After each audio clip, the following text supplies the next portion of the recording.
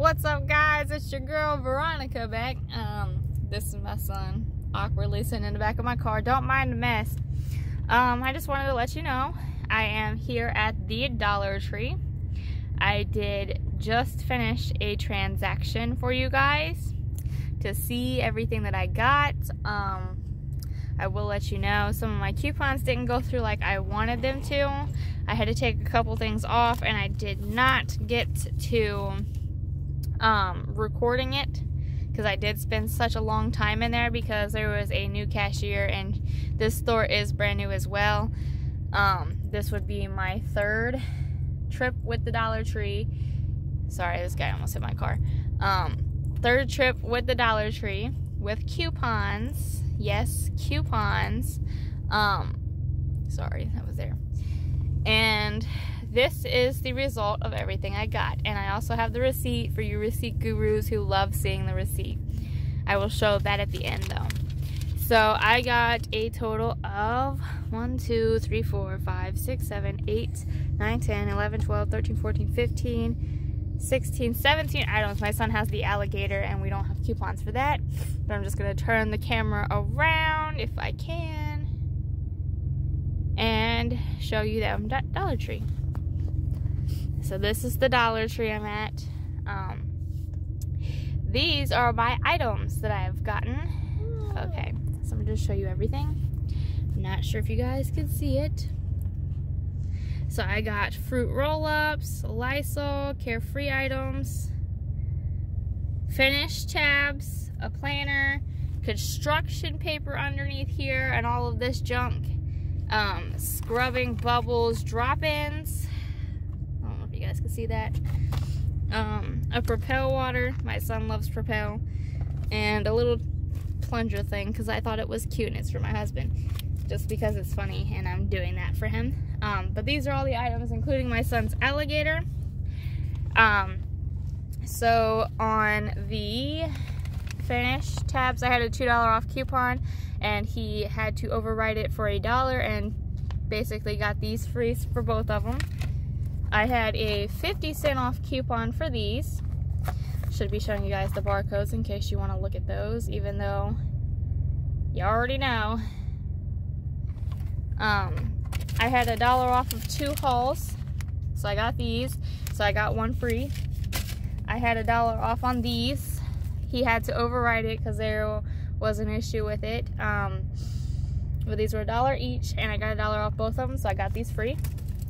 I had a 50 cent coupon off of the Lysol disinfectant wipes. Everybody knows what these looks like.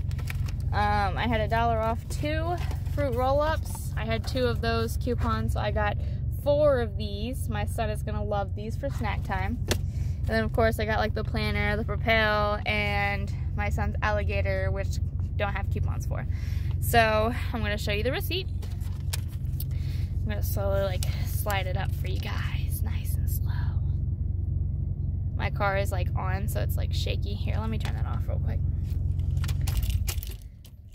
There, maybe the car won't rattle so much and you can see better. So, so far, trying to let it focus. These are all the items. It does show all the coupons they took off manually.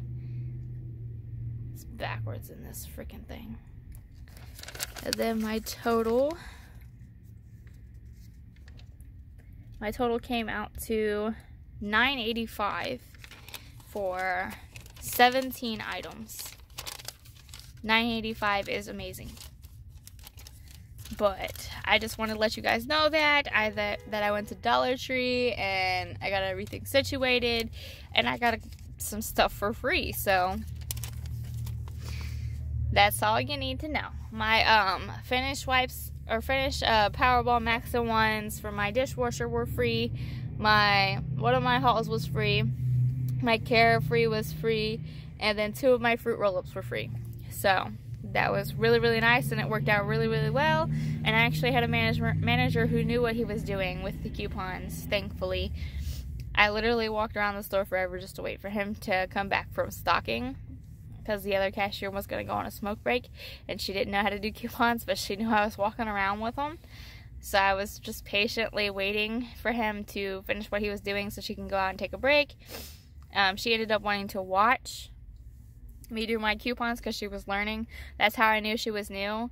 Um, so if you guys are out couponing at any store, regardless of what store it is, please be patient and respectful. Like sometimes it does get frustrating, sometimes it is hard knowing that you have things to do and you're trying to get in and get your budget range filled and get everything that you need for your household and then you got somebody that's new that doesn't know what they're doing or somebody that doesn't want to listen, it's okay to walk away. It's okay to say, no, I'm not going to do this. I'll put it all back. I apologize. I just, I need to get my stuff together. Don't push it on them. Don't make it feel like it's their fault. Because you never know. They could be having a bad day. They could be new.